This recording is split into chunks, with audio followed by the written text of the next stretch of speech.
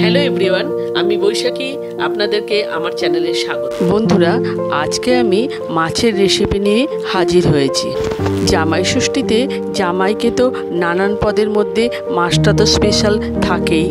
তার জন্য আমি এখানে কাতলা মাছ দিয়ে এই রেসিপিটা তৈরি করব। মাছগুলোকে হলুদ আর নুন ভালোভাবে মাখিয়ে নেব। তার জন্য সামান্য পরিমাণ হলুদ দিয়ে দিলাম আর পরিমাণ মতো নুন দিয়ে ভালোভাবে মেখে নিলাম।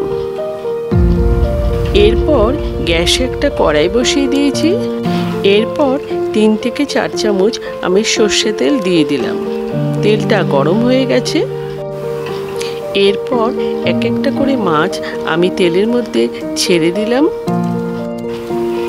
এরপর মাছের এক পিঠটা ভাজা হয়ে গেছে। মাছগুলোকে উল্টে দিলাম। মাছগুলো ভাজা হতে হতে আমি এখানে একটা মশলা তৈরি করে নেব। এর জন্য একটা মিক্সিং বোল নিয়ে নিয়েছি। এখানে আমি তিন থেকে চার চামচ সাদা সর্ষে দিয়ে দিলাম। আপনারা এখানে কালো সর্ষে ব্যবহার করতে পারেন। এরপর দিয়ে দিলাম দু চামচ গোটা ধনে। এরপর দিয়ে দিলাম কয়েকটা গোটা গোলমরিচ। আর দিয়ে দিলাম একটা ছোট সাইজের টমেটো। এখানে ছোট করে কেটে নিয়েছি। আর দিয়ে দিলাম কয়েকটা রসুন। আর দিয়ে দিলাম তিন চারটে কাঁচা লঙ্কা।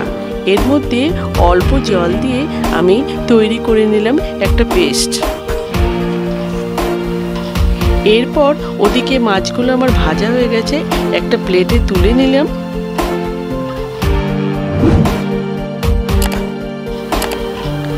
এরপর ওই তেলে এক চামচ কালো জিরে ফোড়ন দিলাম। মশলাটা থেকে একটা সুন্দর গন্ধ আসলে যে পেস্টটা তৈরি করে রেখেছিলাম, সেটা দিয়ে দিলাম। এরপর সামান্য পরিমাণ হলুদ দিয়ে দিলাম আর স্বাদ মতো নুন দিয়ে দিলাম। এরপর দিয়ে দিলাম এক চামচ লঙ্কা গুঁড়ো। ঝালটা আপনারা নিজেদের পছন্দ মতো কম বেশি করে নেবেন। আর দিয়ে দিলাম পরিমাণ মতো চিনি। একটু মিষ্টি দেবেন, তাতে খেতে ভালো লাগবে। এরপর মশলাটাকে ভালোভাবে মিশিয়ে নিয়ে পাঁচ সাত মিনিটের জন্য ঢাকা চাপা দিয়ে দিলাম। এরপর মশলা থেকে তেল ছেড়ে দিয়েছে। একটা বাটিতে তিন থেকে চার চামচ টক দই নিয়ে ভালোভাবে ফেটিয়ে নিলাম। এরপর টক দইটাকে ভালোভাবে মশলার সাথে মিশিয়ে নেব। গ্যাসের ফ্লেম লো রাখতে হবে। এরপর টক দইয়ের বাটিতে জল দিয়ে দিয়ে দিলাম। পাঁচ মিনিটের জন্য ঢাকা চাপা দিয়ে দেবো। পাঁচ মিনিট পর ঝোলটা ফুটে উঠলে মাছগুলো একটা একটা করে ঝোলের মধ্যে ছেড়ে দিলাম। এরপর ঝোলটা টেনে গেলে কিছুটা পরিমাণ ধনে পাতা কুচি দিয়ে দিলাম। এখানে একটা কথা বলে রাখি, গ্রেভিটা আপনারা যেরকম খাবেন সেই অনুযায়ী রাখবেন। তাই সামনেই জামাই ষষ্ঠীতে এইরকম একটা কাতলা মাছের রেসিপি বাড়িতে বানিয়ে দেখতে পারেন।